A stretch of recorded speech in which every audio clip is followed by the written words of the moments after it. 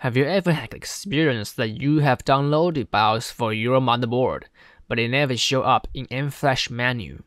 Even you have double-checked motherboard product name, and you got correct BIOS, extracted the file and put BIOS into USB disk, but still you got nothing to select in M-Flash menu. To solve the mystery, we need to understand M-Flash rule and BIOS naming rule. First, let's talk about the M-Flash rule.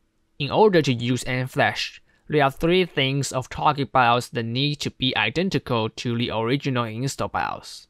Now let's have a look at the BIOS of Z690i Unify as example. Starting from the capital letter E, it means this BIOS is following UEFI specification.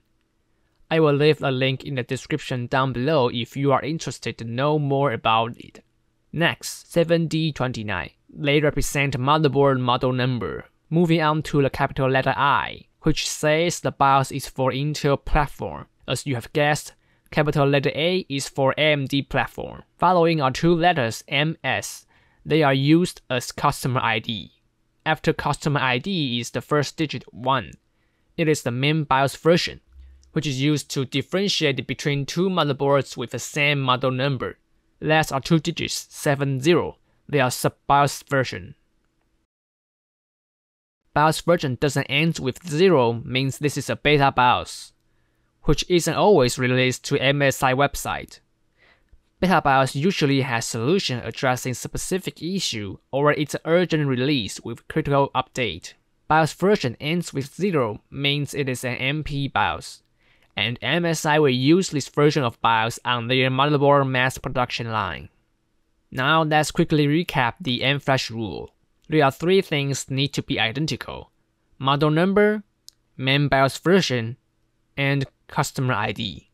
So if we go back to the M-Flash mystery which is mentioned at the beginning of this video, the answer is actually quite simple. The motherboard we have checked is from a pre-built PC, Trident X 12th Gen.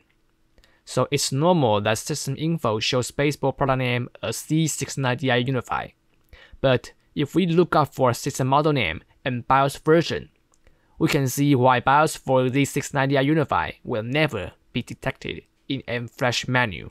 Now mystery is solved and I hope you've learned something from this video. Thanks for watching.